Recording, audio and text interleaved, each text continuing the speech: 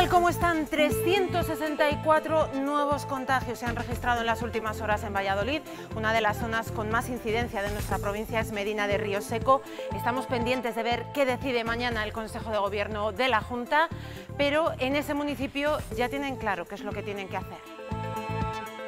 Tomando todas las medidas desde el ayuntamiento de la localidad eh, para pues, eh, evitar eh, actividades innecesarias, eh, para pues, cerrar infraestructuras que, no son imprescindibles. Un hipotético confinamiento eh, realmente no cambiaría mucho la situación eh, en el municipio. Estamos a disposición de la autoridad sanitaria. Desde este mes de octubre, Valladolid gestiona la sala 091 de la policía de nuestra provincia y de otras cuatro de Castilla y León.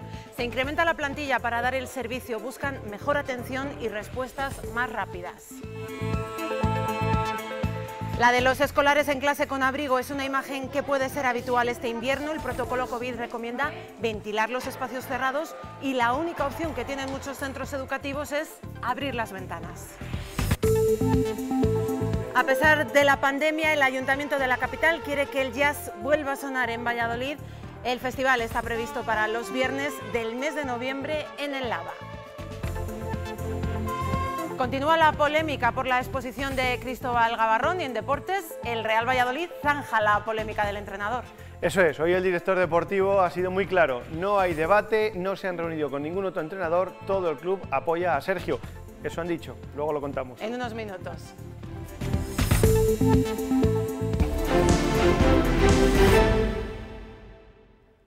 Las salas 091 de las provincias de Ávila, Segovia, Soria y Zamora se atienden desde la comisaría de la calle Gerona de Valladolid.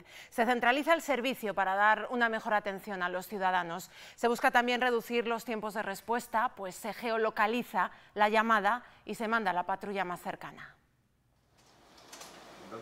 Desde el pasado 5 de octubre, las salas del 091 de Ávila, Segovia, Soria y Zamora se integran en este centro inteligente de mando, comunicación y control, ubicado en Valladolid, en la comisaría de la calle Gerona. Una reestructuración que busca mejorar la atención al ciudadano y reducir los tiempos de respuesta es que geolocaliza el punto exacto en el que se recibe la, llamada, identifica al alertante y permite movilizar eh, al vehículo policial que se encuentre más cercano. Este servicio se ha reforzado con 20 funcionarios más. Las labores de inteligencia y los avances tecnológicos se aunan para incrementar la eficacia de la sala. Una de las cosas muy importantes que realiza este centro de inteligencia es eh, coordinar o dar, suministrar información a las, patrullas policiales que se encuentran a pie de calle, como por ejemplo eh, respecto a órdenes de alejamiento o de protección de las víctimas de violencia de, violencia de género, o incluso consultar eh, un vehículo, cualquier objeto o antecedentes de cualquier persona. Un centro en el que la colaboración ciudadana es imprescindible y que está operativo las 24 horas del día, los 365 días del año. El mapa de la incidencia de coronavirus en nuestra provincia de los últimos siete días está relleno por completo de naranja y con las zonas básicas de Mota del Marqués e Iscar en rojo. Preocupan municipios como Ceinos de Campos, donde hay un brote con varios positivos, y también Medina de Río Seco. Aquí están ya tomando medidas restrictivas sin que aún se lo haya ordenado la Junta, aunque habrá que ver qué se decide mañana en el Consejo de Gobierno. La situación es delicada, por ejemplo, en la residencia de mayores. En la residencia de ancianos tenemos 32 eh, positivos en residentes, tenemos 8 positivos en, profesionales. Eh, lo, que, lo que se ha procedido es a aplicar los protocolos, evidentemente, y, y tenemos una situación pues, de control. Abrir las ventanas es una de las medidas para prevenir los contagios por aerosoles, pero ahora que llega el frío es una pauta complicada, sobre todo porque la mayoría de los centros no están bien diseñados para ello. Por ejemplo, muchos colegios suspenden en ventilación y calidad ambiental dentro de las aulas. Llevan 20 minutos de clase y toca abrir las ventanas. En este colegio van más allá de la recomendación de ventilar cinco veces al día después de medir las partículas en suspensión en sus aulas. No era suficiente con abrir simplemente al cambio de clase, con lo cual durante el transcurso de una sesión lectiva hay que abrir. Pero a partir de ahora estar en clase con las ventanas abiertas obliga a llevar más ropa de abrigo.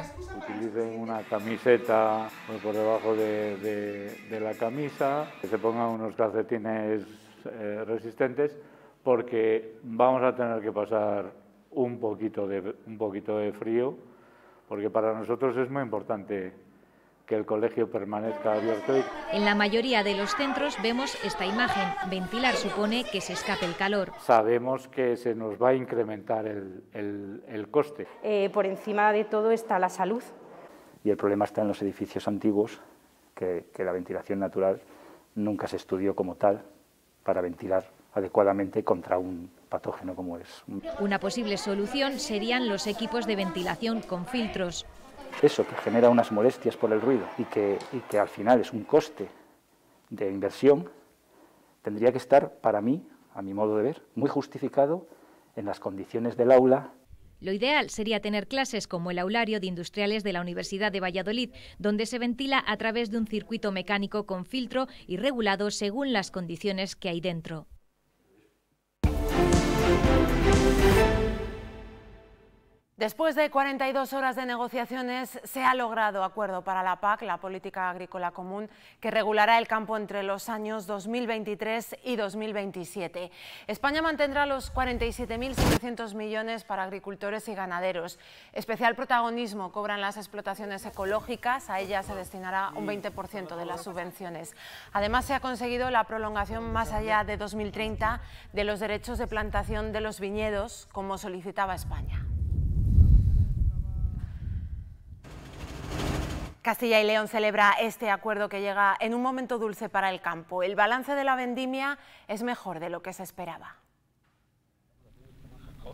Han sido meses muy duros para el sector del consumo, un daño que parecía que iba a recaer también sobre los productores de vino. Sin embargo, la última vendimia ha sido una de las mejores. Una vendimia importante desde el punto de vista de la cantidad, desde el punto de vista de la calidad y por supuesto también de la seguridad a la hora de enfrentarla con este momento de pandemia que estamos padeciendo. Las cifras en nuestra comunidad han superado las expectativas de un 2020 lleno de complicaciones. Más de 287 millones de kilos de uva recogidos aquí en Castilla y León. La denominación de origen Ribera de Duero ha sido la más beneficiada, superando en un 26% la cifra del año anterior, aunque la pandemia ha bajado la demanda de productos enológicos. El consumo del vino se hace en menor medida y eso está afectando al conjunto de denominaciones de origen. También continúan las conversaciones con las organizaciones profesionales agrarias para mejorar la ya implantada ley de cadena alimentaria. Su objetivo... La consecución de un equilibrio entre los distintos eslabones de la cadena alimentaria. En términos de actualidad, está sobre la mesa el reciente acuerdo de política agraria común de la Unión Europea. La necesidad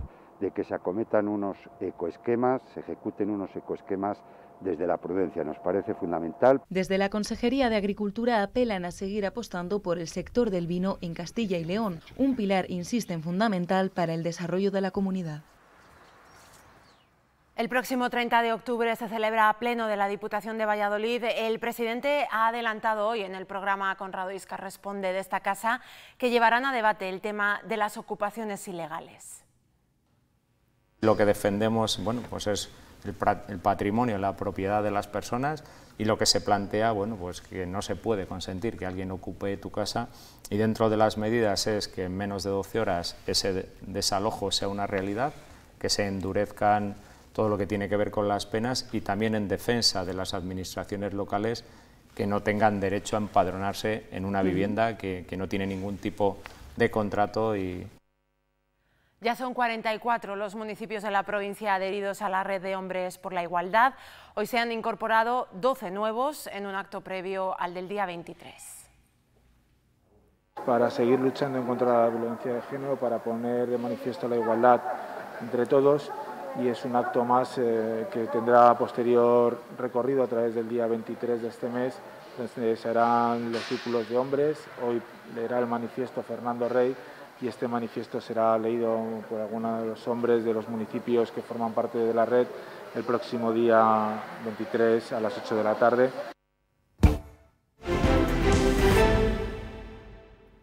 Mañana se ha convocado una manifestación para protestar por la exposición de Gabarrón. Ayer escuchábamos al alcalde de Valladolid responder al director del Museo Patio Herreriano. Hoy lo ha hecho la concejala de Cultura es muy difícil mantener la censura a un eh, artista, nos guste más o nos guste menos. Vamos a seguir adelante, la exposición ya está prácticamente montada y espero que sea un éxito porque el museo lo necesita. el museo el problema que tiene es que eh, durante el año y medio de gestión de Ontoria ha caído enormemente en número de visitantes, más de un 20%, y eso es un problema para el museo. El Ayuntamiento de Valladolid apuesta por celebrar el Festival de Jazz. Será en el Lava durante los viernes de noviembre. Se citarán grandes figuras del género, tanto a nivel nacional como internacional. El jazz nació en Estados Unidos a finales del siglo XIX. Su expansión fue tal que a día de hoy incluso el Congreso americano lo considera un tesoro nacional. En su ánimo por avivar la chispa de la cultura, en la capital, el ayuntamiento presenta unas nuevas jornadas que rendirán homenaje al gran Charlie Parker. Se han convertido ya en un evento importante en el panorama musical nacional y desde luego para nuestra ciudad. Este gran icono de la historia del jazz, ¿no? posiblemente el, más respetado de toda la, la historia del jazz. ¿no? A pesar de las condiciones sanitarias, la muestra se llevará a cabo durante el mes de noviembre en el Lava, una nueva forma de revitalizar la actividad musical. Los artistas aprecian este gesto del ayuntamiento, pero denuncian que la música está convirtiéndose en un producto exclusivo. Una delicatessen. La música en directo se está convirtiendo en, una cosa para, para muy pocas personas, para pocos afortunados, ¿no? Una programación llena de figuras del jazz, entre las que destacan Michelle Hendrix o Luis Coloma, y que podrá disfrutarse todos los viernes del mes que viene en la Sala Lava.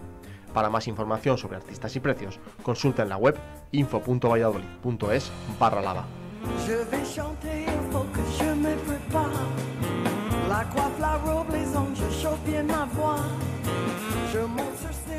Analizar las obras de Miguel Delibes también nos permite comprobar cómo ha evolucionado la sociedad en estos años.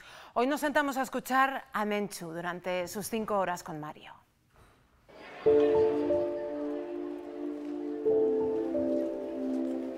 Valladolid no ha cambiado tanto en una década como para que podamos decir que, que no lo iba a reconocer. Pero sí ha cambiado la sociedad que Miguel Delibes refleja en sus novelas. La sociedad sí que ha evolucionado a un ritmo lento, aunque con altibajos. Por eso nos va sonando lejano el clasismo que demostraba Menchú al hablar a su difunto marido en Cinco horas con Mario. ¿Por qué no se ponen a servir como Dios manda? Se puede leer hoy con gran delectación porque afortunadamente cuenta historias que ya se han superado. Las apariencias, la clase social, la religión e incluso la situación de la mujer en la segunda mitad del siglo XX son contadas por Delibes no solo para dar testimonio de una época. El carácter de Miguel era de denuncia, evidentemente. Como novelista denunciaba más que como periodista. Nos decía a los amigos que lo que no podía decir como periodista lo decía como novelista. Porque Menchú nos habla de una España ansiosa de la apertura social y política. Y que las situaciones que cuenta Miguel en muchas de sus novelas también se han superado afortunadamente. Cinco horas con Mario es una de las novelas más conocidas de Delibes, casi siempre de actualidad por haber sido llevada al cine y a los escenarios de los teatros durante décadas. Otra vallisoletana insigne, Lola Herrera, estará siempre ligada a esa Menchu enlutada que ajusta en unas horas las cuentas de toda una vida de matrimonio. Era tarde para tu costumbre. Pero al abrir las contraventanas aún pensé que pudieras estar dormido. Hasta el 22 de enero se puede visitar en el Museo de la Universidad de Valladolid la exposición Arquitectura y otros animales. Son dibujos, óleos, acuarelas del arquitecto Fernando Díaz Pinés es una muestra de, caminos insospechados, la investigación sobre la forma arquitectónica y la búsqueda de la belleza de la arquitectura no atados a las estructuras rígidas y tradicionales que la historia de la arquitectura nos confiere. Todos y cada uno de los cuadros sugieren a cada uno cosas absolutamente distintas. En cierto sentido, es una exposición que más allá de la cualidad o la calidad artística que cada uno pueda estimar que tiene, eh, tiene también ese componente de reflexión. Pues la muestra se compone de casi 70 obras realizadas durante cerca de dos años de trabajo. El color es protagonista, impregnado en puertas, ventanas o seres vivos.